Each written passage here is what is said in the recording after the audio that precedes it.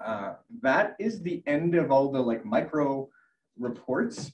And so now if Shannon is there and wants to say anything more about Kairos National, I'm sorry. I just want to say a little bit about the work at uh, Kairos National at this point is really to lift up the voices of um, partners around the world. So the idea for sending a delegation to COP really came from global partners. Partners like the, the women in Africa that we work with on an ongoing basis who said our voices need to be represented at these global climate conversations. And that is uh, why Kairos is sending delegates and um, really working hard with For the Love of Creation as well to highlight these voices to people all across Canada. So I'm going to do my best to share some of those with you today, but I would also encourage you to go to the Kairos website and seek out the videos yourself of these delegates. I'll only show you a, a few if I can, and there are many more. There are 10 delegates, and um, also to join us on November 3rd for a um, conversation with the delegates. Note that that event is in the morning. Um, and so for Western folks, perhaps very early in the morning. Um, it would, let's see, you're in uh, mountain time, it will be 6.30 a.m., which is to accommodate our folks in the Philippines and um, Africa and the Middle East. And this was what we landed with. Um, there will also be a recap in the evening so that we can have uh, a conversation about it. Those conversations will be recorded. And there are several other things going on um, throughout the next month to highlight these voices. One is a youth poster contest. And so if you know anyone under 30 who likes to uh, share messages about climate justice, encourage them to put them on paper or online digital com communications and put them into the poster contest. We have a special group of animators who are um, animating the words of the delegates and may have more opportunities to meet with the delegates. If you want into that group, let me know. Um, and then on the weekend in the middle of two weeks of global climate meetings, we're encouraging everyone across Canada to hold candles for COP. And that's an opportunity um, for you to just be in solidarity with the folks that are in Egypt, but also with uh, folks across the country. And so the encouragement is to hold a, a candlelit vigil in your location and to let people across the country know. We're going to put it up on our For the Love of Creation website and um, let people know that you're doing that in Calgary or Regina or Saskatoon or wherever you are. Um, do it locally and join with other folks doing it around the globe and that week around across the country that weekend around the globe on the Saturday. Um, so those are a few ways that you can get involved. And now I wonder, hope that you can sit back and uh, listen to the words of the delegates themselves. And I've been playing a little bit with um, controls here, but it's hard to do that without cutting somebody else off. So we're going to give this another try.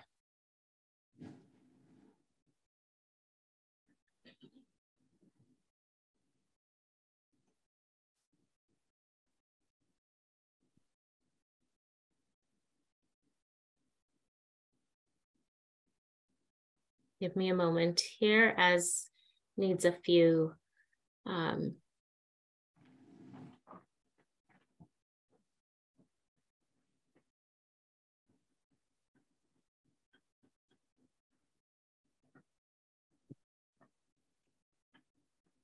Okay, what I think I need to do for today is um, I'm going to show you, oh, there it is.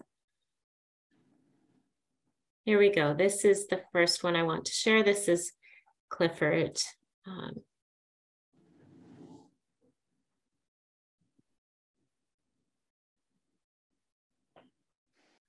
Hi, my name is Clifford Masquash. I'm a member of Pagwasheen, or Pays Plat First Nation on the North Shore of Lake Superior.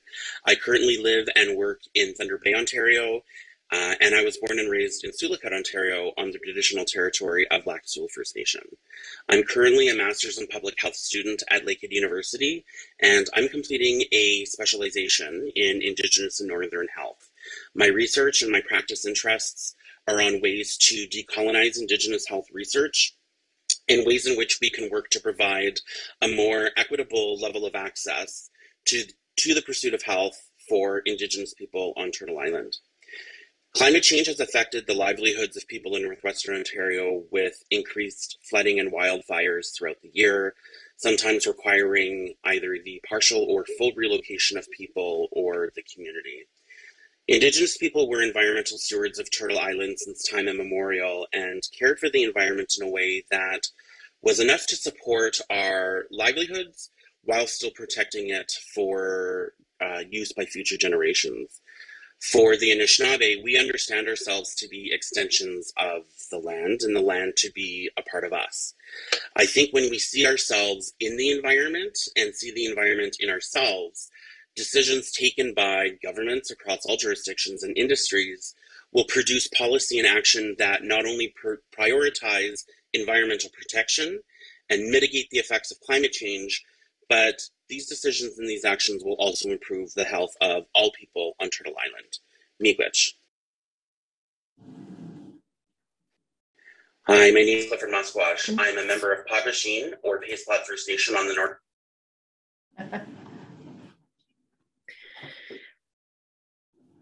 Did you catch that line about the land? The Anishinaabe see themselves as an extension of the land and the land as an extension of us. Um, that I think is key and fits very well with um, the embodied uh, conversation that was going on here this morning in terms of how we connect with nature. I want to share with you the video from another of the delegates. Uh, her name is Yusra Shafi, and I will invite you to listen for the um, encouragement that she gives us to support these bills in the House of Commons that will work towards ending environmental racism.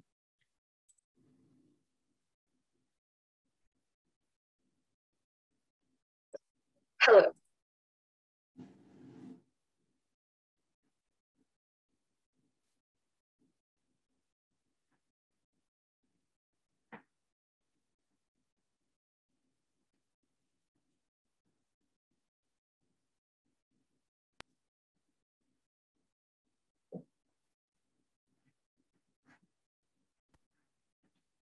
Hello, my name is Yusra, and I'm one of the youth delegates that will be participating in COP27 in Sharm el Sheikh this year. I work with Development and Peace, Caritas Canada, and I am honored to be joining this delegation.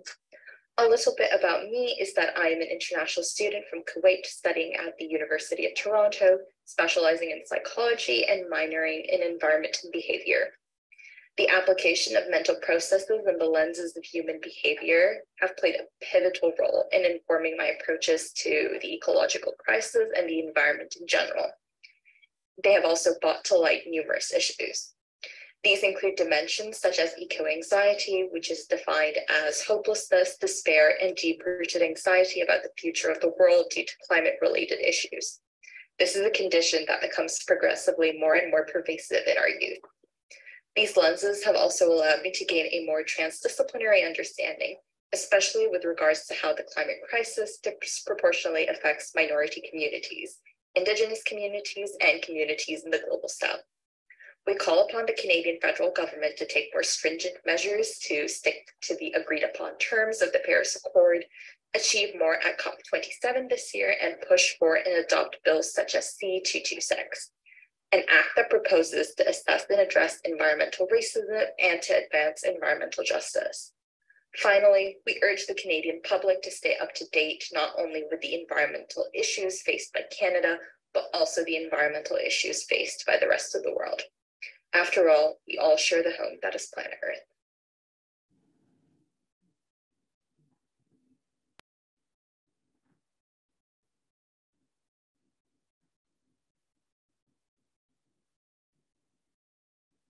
Now, I'm not sure exactly what that looked like for you, if it looked like anything. Sound, but not video. So we're going to try one more piece from um, in a different format from Yusra. As we went through the entire month of September, focusing on decolonizing climate action, um, we ended it all with a fabulous evening uh, with three panelists that spoke um, about personal experience and their professional um, expertise on the areas specifically around environmental racism. And Yusra was again invited to wrap up the evening, and she was able to highlight um, several different um, aspects of the conversation. So you'll get a bit of a flavor for it in just five minutes. And then hopefully you will have heard enough to pique your interest and um, go back and listen to the whole evening session.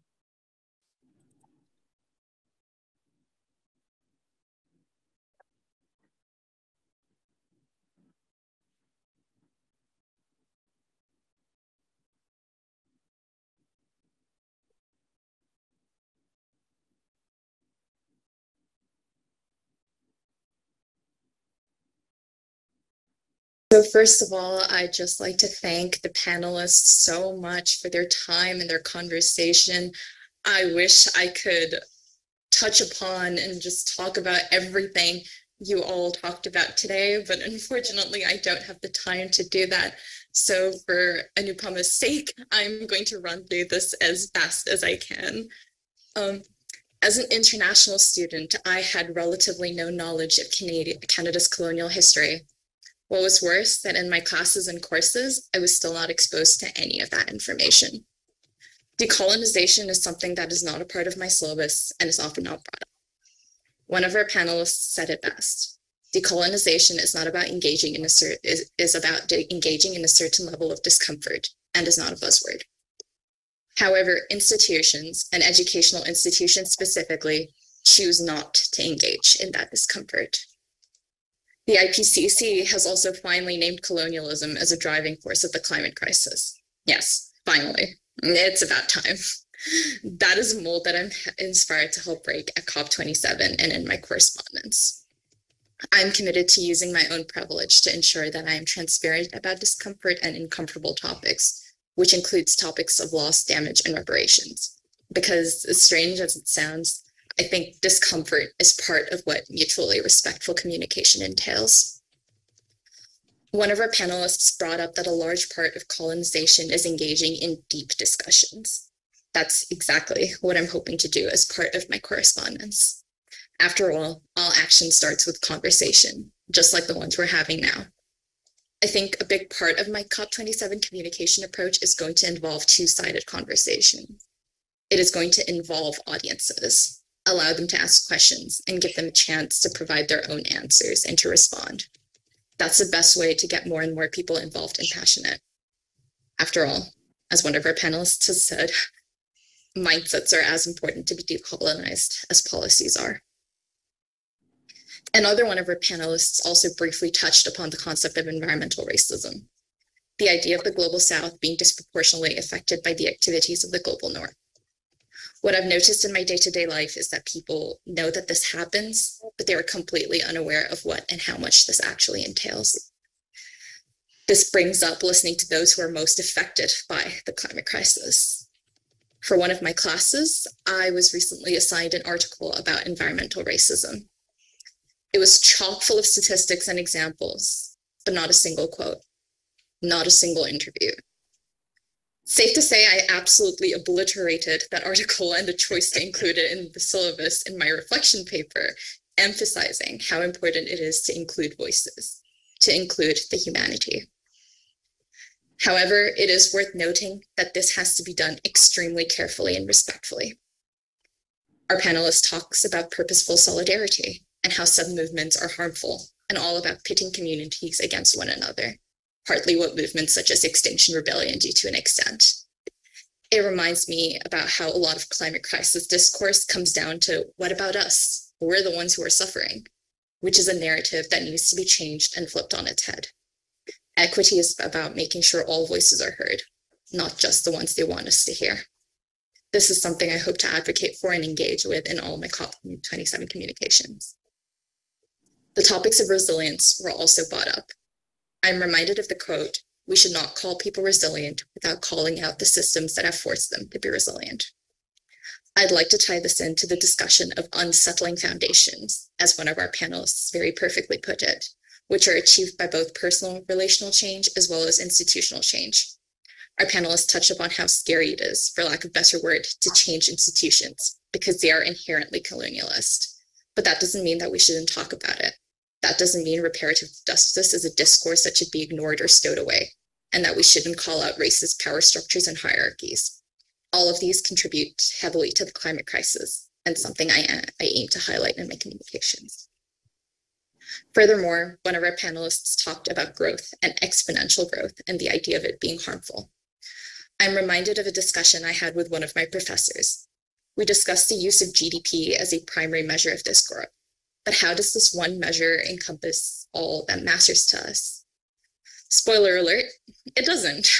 we need to have newer, greener metrics, all of which have to involve this sort of institutional decolonization and breaking down of structures. Jacinda Ardern has famously said New Zealand will no longer be a growth economy, further reinforcing the idea that a growing economy but a suffering climate as a, is a failure, not a success, as she refers to it. Our panelists also brought up the idea of power and how it's not just about redistributing power, but by changing systems and redefining power. I have to say, this is a perspective that I will not only carry to COP27, but throughout my life. For some context, the COP27 agenda is arranged in a thematic format this year. Each day will be dedicated to addressing a different topic, and it is now more evident to me than ever that these themes themselves are dictated by power structures.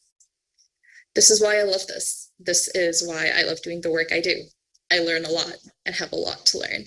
I aim to immerse myself more in the literature surrounding power structures so that in attending COP27 and in my communications about COP27, I'm well aware of the uneven dynamics at play and how they should be redefined. Finally, I'd like to draw inspiration from the roots of one of our panelists, because Mia Mottley puts it best. Our world knows not what is gambling it with, and if we don't control this fire, it will burn us all down. So yes, to conclude, decolonizing climate action is definitely a good idea. Fabulous delegates collected, amazing people from different parts of the world, from different walks of life, from different life experiences. And I invite all of you to join us in whatever way you can to support them and to listen and to lift their voices. I'm going to uh, spend a couple minutes now, if you're still online, dropping a few uh, links in the chat that you can take a look at, and I'll send them by email to all the rest, to everyone. And so I thank you very much for your patience with my technical difficulties and for listening today. Thanks, thanks, Shannon. Uh, Shannon, yeah. Um, we've had a full day, and I don't know how you're feeling right now. Um, there's been a lot of information at the very end here, and it might be hard to really absorb all of that. Um, I hope more than anything, what you take with you is the connections with you've made with people, knowing that there's somebody out there who you can you can go to. If you don't remember everything you heard, there's someone you can go to to find out and to learn more if you need to. Um, this has sometimes in my work, I'm also a pastor in my day job. And sometimes I feel like I spend so much time getting to know really interesting people and learning all about what they're up to and saying, like, will you meet my friend? I have a friend here who's doing this. Will you meet this other person and try to put you together? Um, and today feels a lot like that as well, uh, helping people connect with each other um, here in this room and also online. And, uh, and that feels right. We need to get to know each other a little bit better. So now if you are feeling overwhelmed or if you're feeling optimistic or encouraged, um, where, whatever you're feeling, let's begin to prepare to leave. I've asked Sarah, uh, Sarah, right? I'm forgetting people's names. I've asked Sarah to help guide us, um, send us on our way in a good way. Um, and um, for myself, I think we need to return to that place we were at in the morning of hope, all those, all those practices of silence, of, of stilling ourselves. And uh, that spiritual grounding for all this action we've heard, it doesn't happen without the spirit. Well, with this invitation to provide some closing, as I was preparing, I came across a poem that we'd used in um, some of the Green Exodus sessions that we held. And it's a poem um, by an Indigenous poet whom um, Tony Stowe also quoted today.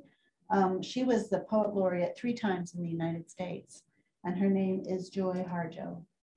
So I think her words gather up a lot of what we've been speaking to. So I invite you to just let her words carry the, the buzz inside you, the concern, the questions, the fullness. Let the words reach you. Remember the sky that you were born under. Know each of the star stories. Remember the moon. Know who she is. Remember the sun's birth at dawn. That is the strongest point of time. Remember sundown and the giving away tonight. Remember your birth, how your mother struggled to give you form and breath. You are evidence of her life and her mother's and hers. Remember your father. He is your life also. Remember the earth, whose skin you are. Red earth, black earth, yellow earth, white earth, brown earth. We are earth. Remember the plants, trees, animal life, who all have their tribes, their families, their histories too. Talk to them. Listen to them. They are alive poems. Remember the wind. Remember her voice. She knows the origin of this universe. Remember, you are all people, and all people are you. Remember, you are this universe, and this universe is you. Remember, all is in motion, is growing, is you. Remember language comes from this. Remember the, lang the dance language is, that life is. Remember. Thank you, Joy. Thank you.